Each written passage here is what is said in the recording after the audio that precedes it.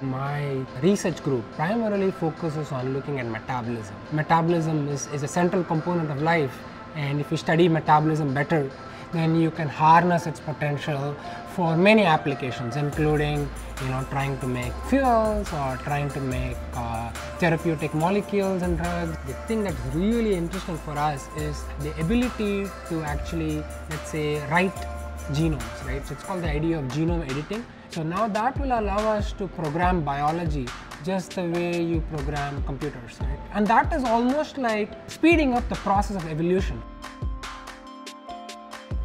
the first thing, if you will, right, in, in, understanding any system, right, is to figure out how things work, right. So once you have that basic level of understanding, one can actually figure out how, if you make some changes, right, it can impact its behavior.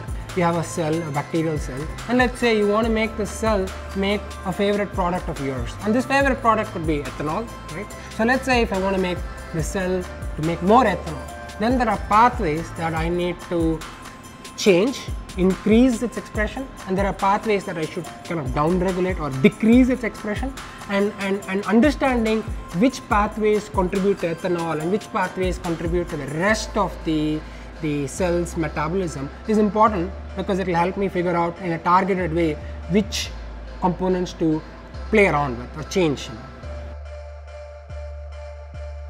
Any lab or a office setting, right? Many of the products like for example this countertop, the chair you're sitting in, the clothes you're wearing, has a, a, an important component of something called nylon. Currently, the nylon that's made is made in a way which is highly energy intensive and there's a lot of potent greenhouse gas that's emitted during this process.